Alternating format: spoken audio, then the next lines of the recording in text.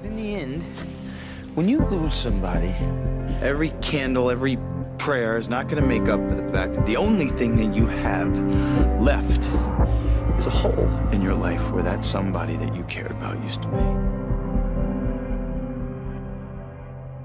You experience things, and then they're over, and you still can't explain them. I'm memorizing the detail of her face.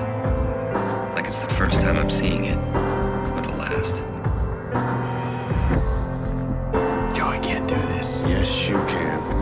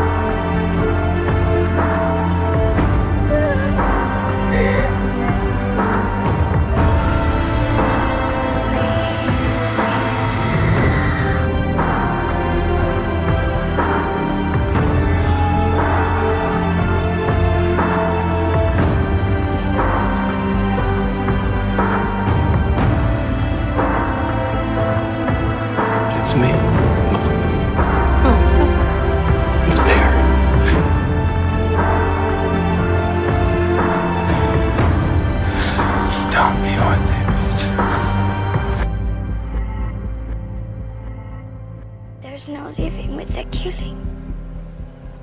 There's no going back. Now you run on home to your mother. You tell her everything's all right.